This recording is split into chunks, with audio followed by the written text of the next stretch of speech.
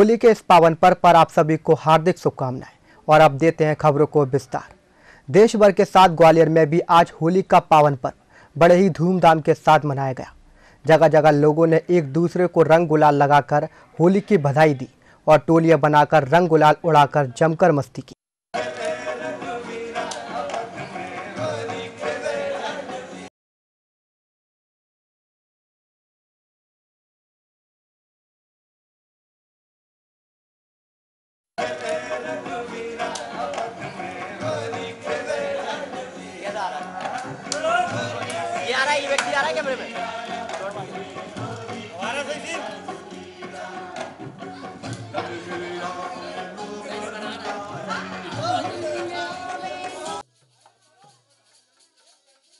होली के पावन पर्व पर पूर्व मंत्री प्रद्युमन सिंह तोमर द्वारा अपने निवास पर कार्यकर्ताओं और स्थानीय रहवासियों के साथ होली खेली और लोगों को होली की शुभकामनाएँ दी।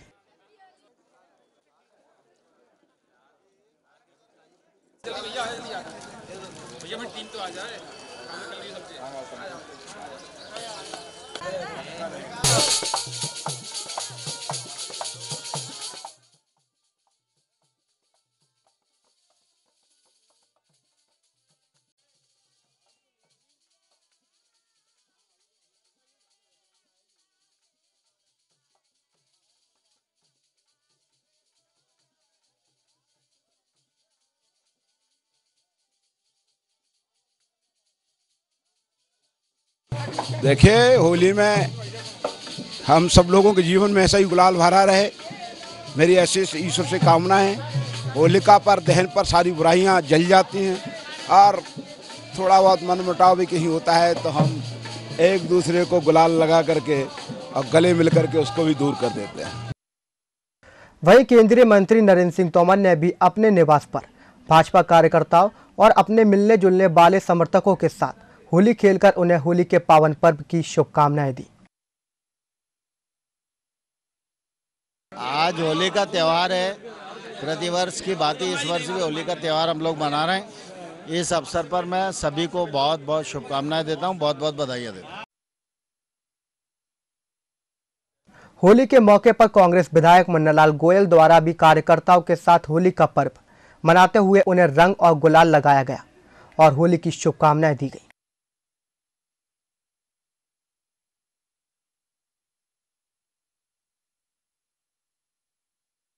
होली के पावन पर्व पर सभी शहरवासियों को, सभी कार्यकर्ताओं को मेरी ढेर सारी शुभकामनाएँ। होली का पर्व प्रेम भाईचारे का पर्व है, सांप्रदायिक सद्भाव का पर्व है। आज के दिन दुश्मन भी गले मिल जाते हैं। आज के दिन हमारे परिवार में, समाज में, क्षेत्र में कई मतभेद हों, उन मतभेदों की होली जला देना चाहिए। गिले हुए हैं, उनको भूल जाना चाहिए और नए साल की शुरुआत करना चाहिए। आज का ये पर्व है, ये प्रेम भाईचारे का पर्व है। आज के दिन मैं सभी क्षेत्रवासियों को, सभी अपने मित्रों को, सभी पार्टी के कार्यकर्ताओं को ढेर सारी शुभकामनाएँ देता हूँ। आज का दिन भाईचारे का दिन हो, आज का दिन प्रेम भाईचारे का, के साथ साथ इस शहर के सांप्रदायिक सद्भाव का दिन हो। मैं आम जनता को, सभी को ढेर सारी शुभकामनाएँ होली के पर्व देता हूँ। कांग्रेस के वरिष्ठ नेता और प्रदेश उपाध्यक्ष अशोक सिंह द्वारा भी अपने निवास पर होली मिलन समारोह आयोजित किया गया और कांग्रेस कार्यकर्ताओं के साथ, स्थानीय लोगों के साथ जमकर रंग उड़ाया। होली के शुभ अवसर पर सभी लोगों को बहुत बहुत शुभकामनाएँ। होली का ये त्यौहार रंगों का त्यौहार है। उसी तरह से, जिस तरह से हमारे भारत की संस्कृति रही है, सब लोग एक दूसरे को की बुराई एक दूसरे के प्रति बैर भाव भूल के आज सब लोग मिलते हैं और इसी तरह से हम सब लोग इस त्यौहार को मनाएँ।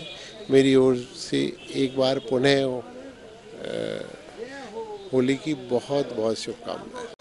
होली के मौके पर शहर में गली मोहल्लों में भी बच्चों की टोलियाँ निकली और लोगों ने होली का पर्व मनाते हुए जमकर मस्तियाँ की। खेल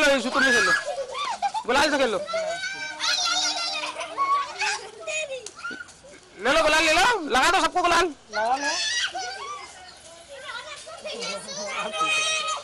पानी नहीं मैडम इधर इधर कैमरा कैमरा इधर नहीं पानी नहीं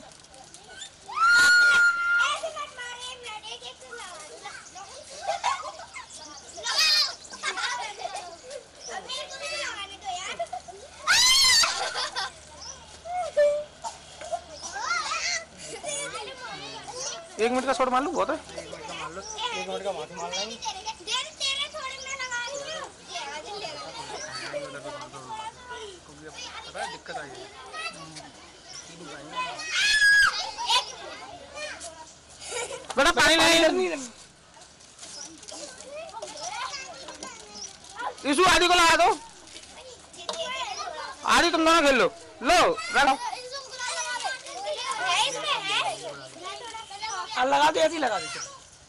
इतना ही लगा दो लगा दो। बहुत लगा दो लगा दो। लगा दो गाल पे लगा जल्दी करो गाल पे जल्दी। इधर देखो बेटा इशू इधर भैया इधर इधर। अरे वो बच्चे नहीं मानेंगे। चलो भाई। खेलो आप भी खेलो। लगा रहा अच्छे से। अच्छे से बोला लगाओ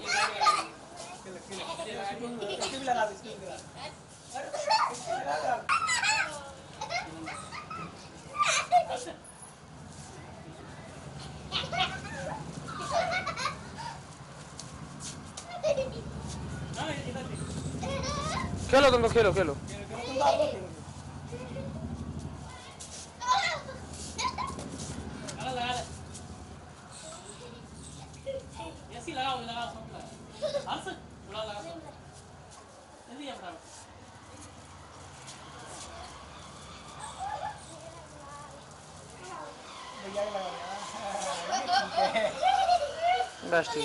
कांच मिल इंडस्ट्रियल एरिया में बुधवार रात गत्ते और प्लास्टिक का दाना बनाने वाली फैक्ट्री में आग लग गई।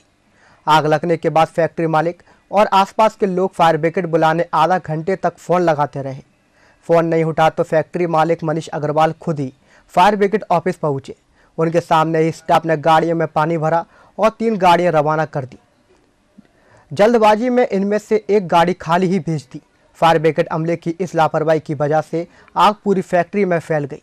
आग बुझाने के लिए फायर ब्रिगेड की गाड़ियाँ कम बढ़ गईं तो महाराजपुरा से एयरफोर्स की फायर ब्रिगेड को बुलवाया गया बस आओ हट जा हट जा हट जाना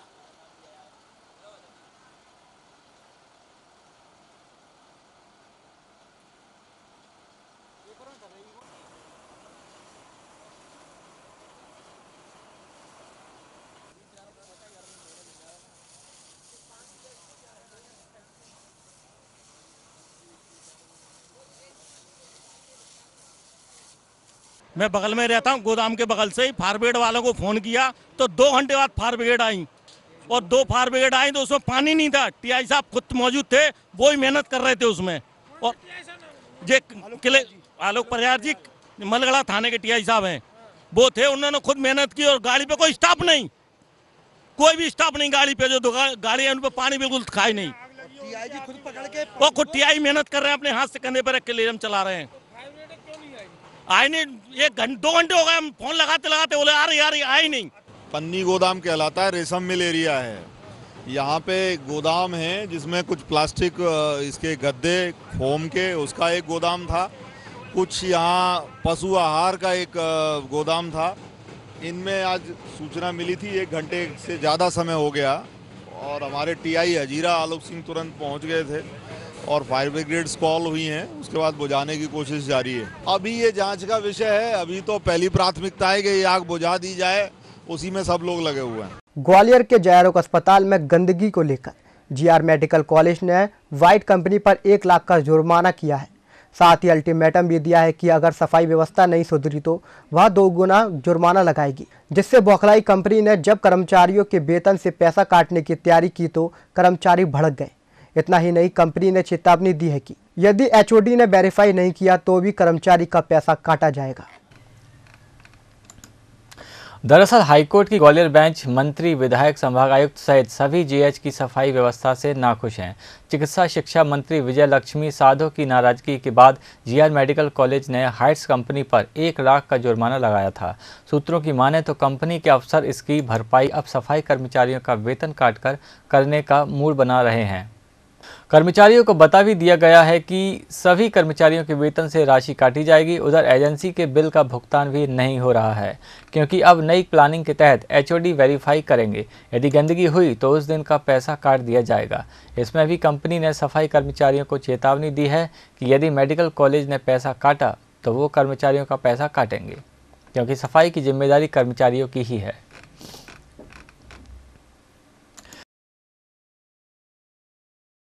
मैंने ज्वाइन करने के बाद से बार बार राउंड लिए हैं और औचक निरीक्षण किए हैं। सारे सरप्राइज़ विज़िट होती है मेरी। लेकिन इसके बावजूद सफ़ाई में इम्प्रूवमेंट तो हुआ है, पहले से सुधार हुआ है, लेकिन मैं खुद उससे बहुत ज़्यादा संतुष्ट नहीं हो पाता, क्योंकि जो कंपनी है, उसके कर्मचारी या तो संख्या में कम होते हैं कई जगह, या वो ढंग से सफ़ाई नहीं कर पाते हैं। तो इस संबंध में भी हमने उनको नोटिस दिया है कि आपके कर्मचारी पूरे लगाएँ बायोमेट्रिक से अटेंडेंस लें उनकी, ये उनको निर्देश लिखित में दिए जा चुके हैं। और हर वार्ड में वो अपने कर्मचारियों के नाम लिखें। कब से कब तक कौन सा कर्मचारी ड्यूटी पे है कौन कौन से कर्मचारी ड्यूटी पे हैं, उनका मोबाइल नंबर क्या है? अगर उन पर नहीं है मोबाइल तो सुपरवाइज़र कौन है? उसके मोबाइल नंबर क्या हैं? साथ ही जो टॉयलेट हैं, हमारी कहीं भी अस्पताल में तो ये हमारे एमओयू में शामिल है कि सफ़ाई कंपनी के लोग उसको हर घंटे में साफ़ करेंगे। और एक चार्ट मेंटेन करेंगे जिसमें कि चार्ट में वो लिखेंगे कि किसने कब साफ़ किया कब कब साफ़ हुआ। वो चार्ट भी नहीं लगे। हैं मैंने अभी जो पिछला दौरा किया था उस समय नहीं लिए लग, नहीं लगे थे। उनको निर्देश दिया था कि आप लगाएँ इनको तुरंत। तो जब तक कंपनी के लोगों को हम इसीलिए टाइट कर रहे हैं बार बार मैं अभी उन पर एक लाख का जुर्माना कर चुका हूँ। इससे पहले दस हज़ार का किया था। और अगर नहीं सुधरेंगे तो मुझे जुर्माने की रकम बढ़ानी पड़ेगी। अल्टीमेटम दिया कि डबल कर देंगे। मजबूरी होगी वो हमारी। हम किसी पे कोई जुर्माना नहीं लगाना चाहते, लेकिन अगर काम नहीं होगा तो मजबूरी में हमें जुर्माना लगाना ही पड़ेगा और कार्रवाई करनी ही पड़ेगी। उसमें हम किसी का लिहाज नहीं करेंगे। ग्वालियर की जीवाजी यूनिवर्सिटी का एक और फर्जीवाड़ा सामने आया है, जहाँ जीवाजी यूनिवर्सिटी के दूरस्थ संस्थान के माध्यम से बीए करने वाले एक छात्र ने 15 साल में यूजी की परीक्षा पास की।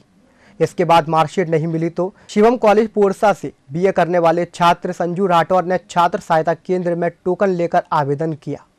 छात्र की मार्कशीट गोपनीय विभाग के कर्मचारी ने बनाई दी, लेकिन परीक्षा विभाग के टेबुलेशन चार्ट में नंबर दर्ज कराने के लिए मार्कशीट भेजी गई। यहाँ जब गड़बड़ी पकड़ी गई तो जेयू प्रशासन ने छात्र की मार्कशीट को रद्द कर दिया है। दरअसल उच्च शिक्षा विभाग के नियम के मुताबिक यूजी की डिग्री पाँच साल में करना अनिवार्य है। छात्र ने 2001 में बीए पहले वर्ष व 2002 में दूसरे वर्ष की परीक्षा पास कर ली थी। इसके बाद छात्र ने बीए फाइनल की परीक्षा के लिए वर्ष 2015 में परीक्षा फॉर्म शिवम कॉलेज पोरसा से भरा, लेकिन किसी कारण वह परीक्षा नहीं दे पाया। इसके बाद छात्र साल 2016 में बीए फाइनल की परीक्षा दूरस्थ के माध्यम से दी, लेकिन छात्र की मार्कशीट कॉलेज नहीं भेजी गई, जिसके बाद छात्र ने मार्कशीट के लिए जेयू के छात्र सहायता केंद्र में आवेदन किया था। छात्र की मार्कशीट भी बना दी गई थी, लेकिन रिटायर्ड टीचर्स ने इस गड़बड़ी को पकड़ लिया, जिसके चलते मार्कशीट का रद्द कर दिया गया।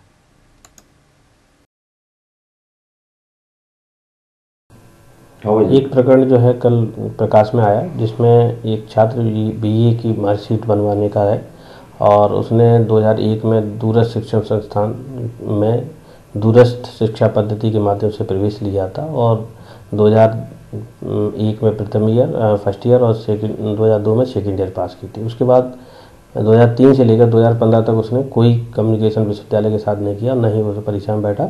2015 में उसने पुनः फॉर्म भरा और 2016 में उसकी परीक्षा दी। और उस परीक्षा में वह पास हो गया, उसके परीक्षा परिणाम में घोषित हुआ, ऐसा उसने बताया।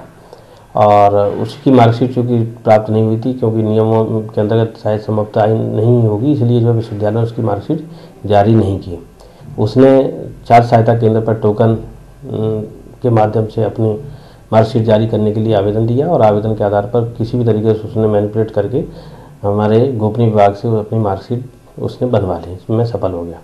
परंतु हमारे विश्वविद्यालय में बहुत अच्छी व्यवस्था है कि एक जगह से अगर कोई गलती है तो दूसरी में पकड़ी जाती है, उसी उसी तारतम्य में जो है हमारे परीक्षा विभाग द्वारा वह गलती पकड़ी गई और कल जो है वह मार्कशीट तत्काल प्रभाव से नष्ट कर दी गई है और उसे पूरा प्रकरण विवेचना में है और विवेचना होने के बाद जो भी नियम अध्यादेश होंगे उसके अनुसार तदनुसार आगे की कार्रवाई की जाएगी। कियारच में इलाज न मिलने से डेढ़ साल के मासूम पीयूष की मौत के बाद प्रशासन ने हरकत में आते हुए मामले की जाँच शुरू कर दी है। एसडीएम सहित कंपू पुलिस बुधवार को कियारच पहुँची और मासूम की जाँच के जिम्मेदार लोगों से पूछताछ भी की। यह बता दें कि सांस लेने में दिक्कत होने पर कियारच में पीयूष को भर्ती कराया और यहाँ डॉक्टर समझ ही नहीं पाए कि हुआ क्या है। शाम चार बजे डॉक्टरों ने कहा कि पीयूष का एक्सरे कराना होगा, जिससे पता चलेगा कि उसके गले में क्या हुआ है। परिजन रेडियोलॉजी विभाग पहुँचे तो वहाँ कर्मचारी अकेला मिला, जिसने कहा कि वो अकेला है, अभी एक्सरे नहीं हो पाएगा। कर्मचारी ने पर्चे पर लिखकर भी दे दिया कि एक्सरे अभी नहीं हो पाएगा। परिजन ने तीन बार चक्कर लगाए, इसके बाद ये बात डॉक्टरों को बताई, लेकिन तब भी कोई ध्यान नहीं दिया गया। देर शाम पीयूष ने दम तोड़ दिया। जीएच में लापरवाही की बात अधीक्षक अशोक मिश्रा भी स्वीकार गए। उन्होंने कहा कि रेडियोग्राफर का नाम प्रेमचंद पता चला है, जिसने लिख कर दे दिया है कि एक्सरे नहीं हो पाएगा। लापरवाही हुई है, तभी बच्चे की मौत हुई है। इस मामले में रेडियोग्राफर को सस्पेंड कर अन्य दोषियों पर कार्रवाई होगी।